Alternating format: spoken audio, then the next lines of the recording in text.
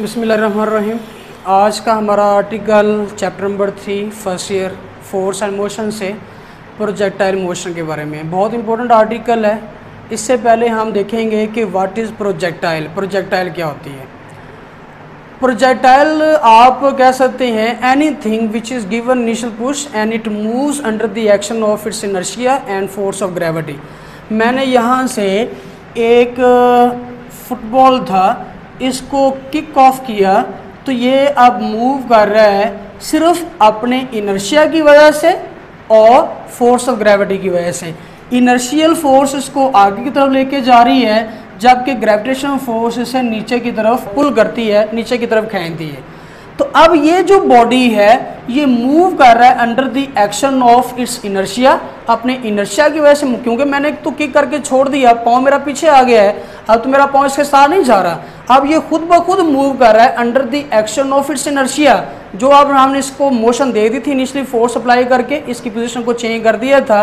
अब it tries to continue state of motion अब ये इनर्शिया की वजह से अपनी मोशन को जारी रखना चाहता है तो हम इसलिए कह रहे हैं it is the motion it is the body which is moving under the action of its inertia and gravity gravitation force मुसलसल से नीचे की तरफ़ अट्रैक्ट कर रही है, जबकि इनर्शियल फोर्स इसे ऊपर की तरफ़ लेके जाना चाह रही है।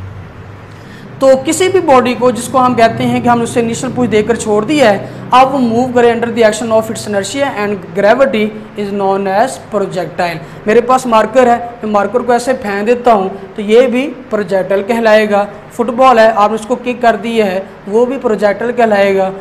क्रिकेट बॉल है तो आपने उसको बैट से हिट कर दिया है, अब वो भी प्रोजेक्टर कहलाएगा। Anything which move under the action of its inertia and gravity known as projectile हम इसको इस तरह से डिफाइन कर सकते हैं. Two dimensional motion of a body under the action of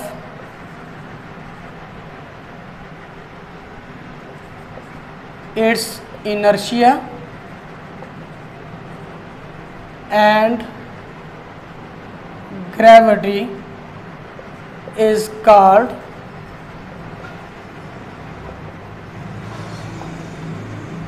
projectile motion इसको हम प्रोजेक्टाइल मोशन कहते हैं। अब इसके केसेस हैं, कुछ डिस्कस कर लेते हैं। केस नंबर वन है। When an object is thrown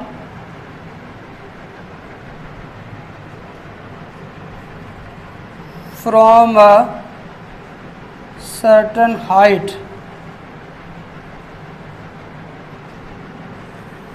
इसका पहला केस है। जब किसी प्रोजेक्टाइल को, जब किसी बॉडी को एक सर्टन हाइट से प्रोजेक्ट कर दिया जाता है थ्रो कर दिया जाता है तो अब हमने देखना है कि वो एक्स डायरेक्शन में कितना डिस्टेंस कवर करता है वाई डायरेक्शन में कितना डिस्टेंस कवर करता है।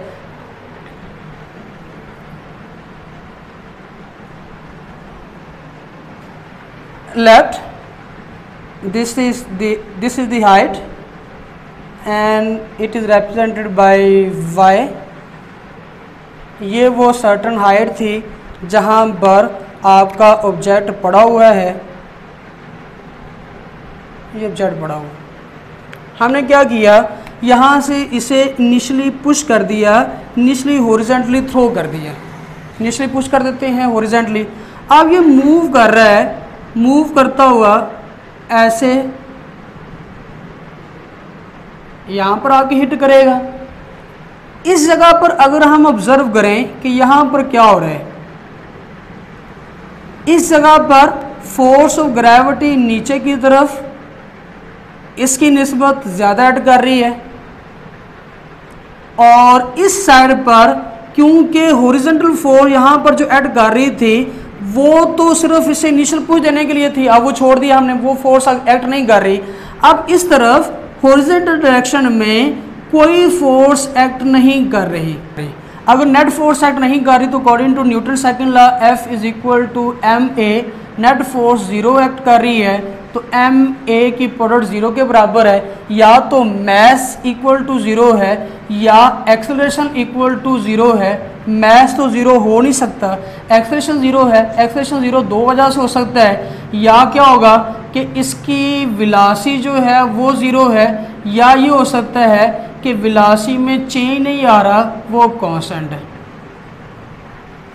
यही वजह हो सकती है। तो during projectile motion horizontal component of the velocity जो एक्स एक्सी की तरफ़ है, वो क्या रहती है? कॉन्स्टेंट रहती है। जो आपने इनिशियली दे दी, वही रहनी है, उसने चेंज नहीं होना। क्योंकि नेक्स्ट फॉरवर्ड डायरेक्शन में कोई नेट फोर्स एक्ट नहीं कर रही होगी। नेट फोर्स एक्ट नहीं कर रही होगी तो नेट फोर्स एक्ट ना करने की वजह से resultant horizontal velocity along the X वो क्या रहेगी? कॉन्स्टेंट रहेगी। लेकिन ये क्योंकि बॉडी कंटिन्यूसली नीचे की तरफ़ आ रहा है, इसका डिस्टेंस अर्थ से कम हो रहा है तो इसके ऊपर फोर्स ऑफ़ ग्रेविटी बढ़ती जाएगी तो इसकी वर्टिकल जो विलासी है, वो चेंज होती जाएगी। और वो वेरी कर रही है with respect to separation between the earth and the object अब इसने यहाँ पर आके हिट करना है। जब यहाँ पर आके हिट किया तो इसने ओरिजिन से पॉइंट ऑफ़ प्रोजेक्शन जो इसके बिल्कुल नीचे इसके पॉइंट ऑफ़ प्रोजेक्शन के बिल्कुल नीचे जो ओरिजन है, यहाँ से लेके यहाँ तक जो इसका डिस्टेंस है, वो horizontal distance cover by the body है और वो फाइंड किया जा सकता है। S is equal to V into T formula होता है हमारे पास डिस्टेंस फाइंड करने के लिए। तो S horizontal distance cover by the body है और V ये वो स्पीड है, ये वो वेलोसिटी है जिससे वो हॉरिजॉन्टली मूव कर रहा है। और मैंने कहा during projectile motion this horizontal velocity of the projectile does not change तो वी एक्स इंटू टी ये हॉरिजॉन्टल कंपोनेंट ऑफ़ दी आप वर्टिकल डिस्टेंस कैसे फाइंड करेंगे? यहाँ से थ्रो कर दिया आपने। नीचे विलासी अलोंग वाई एक्सिस आपने वो तो दी नहीं है उसको। वो तो रेस्ट में था। हमने उसको निचली थ्रो किया है हॉरिजॉन्टली थ्रो किया है। तो नीचे विलासी वाई एक्सिस वो क्या है? ज़ीरो है। हमने ऊपर की तरफ़ ने इसको थ्रो किया। अब ऊपर से नीचे की तरफ़ आ रहा है तो एक्सलेशन किसकी वजह से होगा? ग्रेविटी की वजह से होगा। हमने डिस्सा मालूम करना है, जो वर्टिकली वो डिस कवर कर रहा है तो फार्मूला हम जानते हैं we know that S is equal to V I T plus half A T square यहाँ से एस की जगह पर मैं वाई लिख देता हूँ। नीचे विलासी है along Y axis into T plus half acceleration gravity की वजह से है। इंटू टी स्केयर नीचे वेलोसिटी लॉन्ग बाय वो ज़ीरो है zero into T plus half G T square is equal to half G T square ये vertical distance cover by the projectile है, जो उसने वर्टिकली मूव करते हुए कवर किया था।